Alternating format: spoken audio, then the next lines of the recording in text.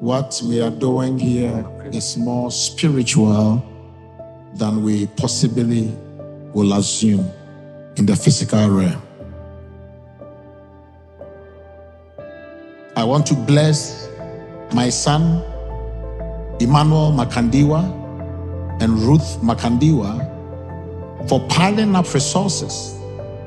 You could have depended upon the house, but you wanted to build an altar.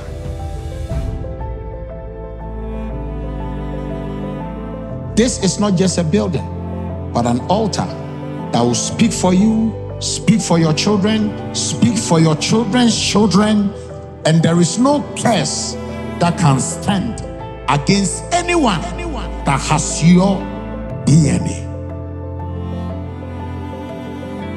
Heavenly Father, this is the handiwork of man, which was inspired by your spirit.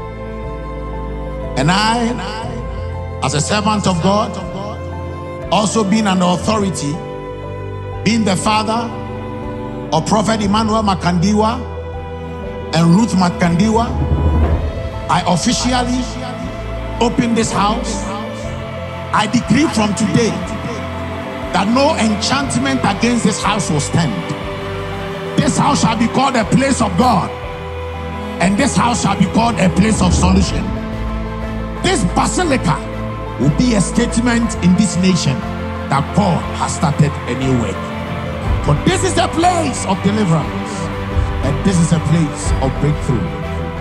As we cut through the ribbon, we cut through the challenge of every member's life. As the scissors cast through, I open it up in the name of the Father and of the Son and of the Holy Spirit. Amen. Thank you.